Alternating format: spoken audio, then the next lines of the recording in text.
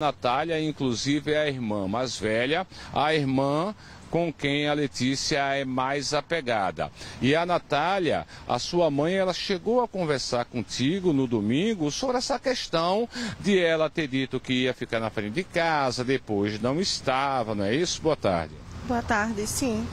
Minha mãe conversou com ela e pediu para ela entrar, ela entrou, minha mãe conversou com ela, pegou o celular, e disse que só ia devolver na segunda-feira. Ela foi para o colégio normal, ficou normal, teve uma festinha, uma comemoração do meu sobrinho. Ela ficou normal na comemoração, tranquila, conversando com todo mundo. Foram dormir e ela saiu, abriu a porta e saiu. A segunda-feira, ou seja, foi um dia como outro qualquer, mesmo depois dessa bronca que sua mãe deu nela, de tirar o celular, mas o comportamento dela não tinha nada de estranho, né? Não, normal, normal. Ela, ela sempre foi muito calada, sabe? Mas a gente sempre buscou muito conversar com ela, mas ela estava normal. Vamos lá, isso aí na segunda-feira, né? Aí alguém pode estar tá pensando, ah, a mãe deu a bronca, tirou o celular no domingo, mas na segunda ela estava extremamente tranquila, conversando com todo mundo. Como a Natália disse, ela foi para a escola, ela mora em Curcurana, as duas amiguinhas moram em Pontezinha e as três estudam na mesma escola à tarde. Então, na segunda-feira, Letícia foi normal para a escola. Quando foi na madrugada de segunda para terça-feira, por volta das quatro e meia da manhã, a Letícia pegou uma mochila, colocou umas roupas e saiu de casa.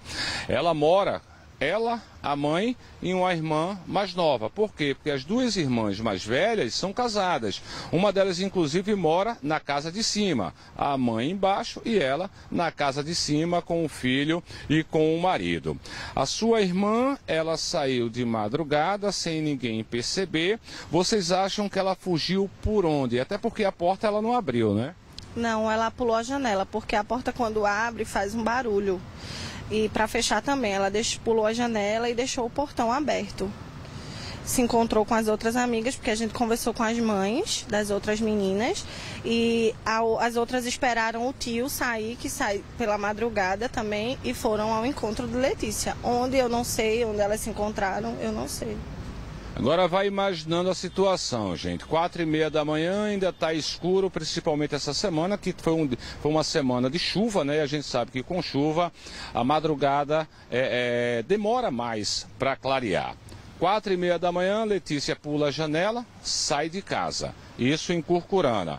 Quem conhece ali a estrada de Curcurana sabe que liga a Barra de Jangada à Pontezinha.